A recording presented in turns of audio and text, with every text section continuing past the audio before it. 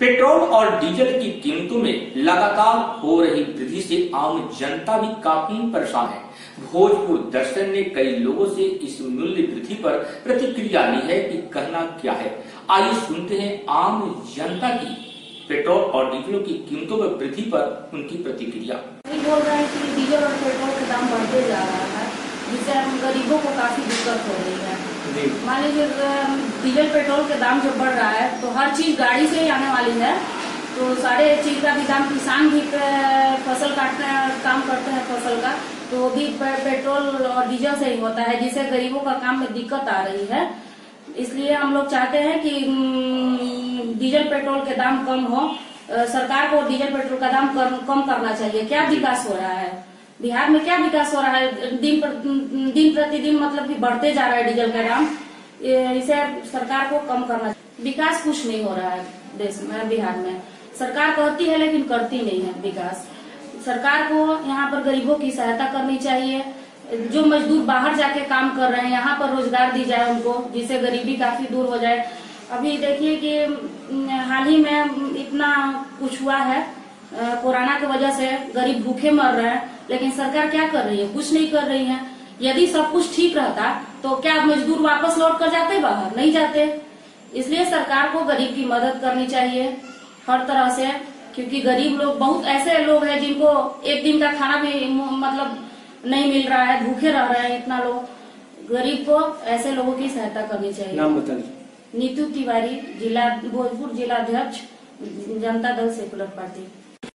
पहले किसान परेशान है और देश की लगभग 60 परसेंट आबादी किसानों की है। किसानों का मूल्य वृद्धि जो है, वो मिल नहीं पा रहा है और डीजल का रेट जो है, पेट्रोल से ज़्यादा हो जब 2014 की जब लोकसभा चुनाव आई थी, उस समय प्रधानमंत्री श्री नरेंद्र मोदी जी ने कहा था कि पेट्रोल का रेट हम पचपन रुपये करेंगे। और समय यूपीए की सरकार थी, पचपन रुपये से ज़्यादा कम था, लगभग पचास तिरपन था। जहाँ तक मुझे जानकारी है। और आज आप देख लीजिए कि पेट्रोल के रेट पच्चीस पचासी रुपये ये मूल्य वृद्धि किसके लिए?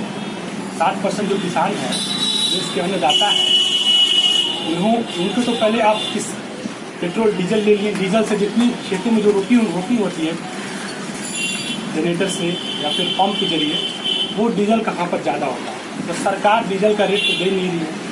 उनके जो फ़सल का रेट दे रही है सही से और डीजल का रेट रहा है जी। आप देख सकते हैं सरकार सिर्फ़ दो मोड़ की राजनीति कर रही है। उनके एमएलसी को उनके विधायक को अपनी अपनी पार्टी के ज़रिए सब लुभावने वाले तरीके से। चुनाव वक्त है लोग इधर जाएँगे उधर जाएँगे उससे कोई फ़र्क नहीं पड़ता। किसी लेकिन एक लोकतांत्रिक देश में बताना चाहता हूँ कि हमारा देश एक सौ पैंतीस करोड़ की आबादी वाला देश है। और लगभग यहाँ की लगभग जनसंख्या पच्चीस परसेंट जनसंख्या गरीबी रेखा के नीचे जीते। तो इन लोगों को सबसे पहले मोदी जी ने कहा था कि सबका विकास सबका साथ। अब वो कहाँ है?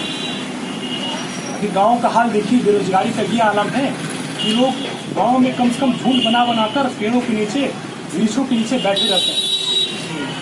और सबको जियो वाला कंपनी आ गया, जियो ने मोबाइल दे दिया है। एक तीन सौ निन्यानवे का और रिचार्ज करवा दिया है। वो सब टाइम वेस्ट कर रहे हैं। जिन्हें जिनकी कोई फ्यूचर नहीं है कोई भविष्य नहीं है कि आगे वो करेंगे क्या? ठीक है नाम बता दीजिए। कि मेरा नाम ईशान राज है मैं नगर मैं युवा राजद का हूँ। यहाँ से पेट्रोल डीजल का उत्पादन होता है वहाँ काफ़ी सस्ता हो गया। उसके बाद भी बहुत सारे देशों ने उत्पादन के हिसाब से पेट्रोल डीजल का दाम घटा दिया है। लेकिन हमारे यहाँ दिन पर दिन बढ़ते जा रहा है। उसमें भी डीजल से तो किसानों का बहुत गहरा संबंध है। पेट्रोल तो व्यवसायियों का चीज़ है बड़े बड़े लोग कार वाले आज पेट्रोल का ही कीमत डीजल से कम है। ये सरकार तो किसानों की है नहीं, पूंजीपतियों की है, बड़े व्यवसायियों की है। पेट्रोल को सस्ता करेगी, डीजल को महँगा करेगी, जो आज तक नहीं हुआ इस देश में, वही अब होने जा रहा फिर है बिहार सरकार केंद्र सरकार हमेशा दावा ठोकती आ रही है विकास होते रहे। शहर में कहाँ शहर में विकास हो रहा है? आधा घंटा बारिश हो रहा है तो पूरा आरा नगर निगम नरक निगम हो जा रहा है। कौन ऐसा रोड है ऐसा जो टूटा फूटा हुआ नहीं है और जहाँ गड्ढे में पानी नहीं आ रहा शहर में? एक रोड है कोई तो बताइए आप। जहाँ काम होना चाहिए वहाँ नहीं हो रहा है जहाँ नहीं होना चाहिए वहाँ हो रहा है।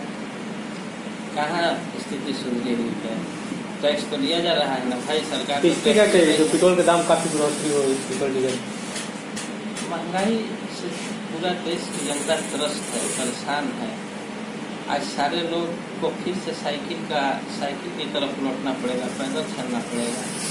लॉकडाउन की स्थिति से चार महीना सारे लोगों के पास सारे घरों से पैसा निकल चुका है खर्च हो चुका है। और लॉक- लॉकडाउन के तुरंत बाद पेट्रोल और डीजल का दाम बढ़ाना कहाँ तक न्याय उचित है और किस सरकार के लिए उचित है? है नाम बता दीजिए। धनंजय कुमार।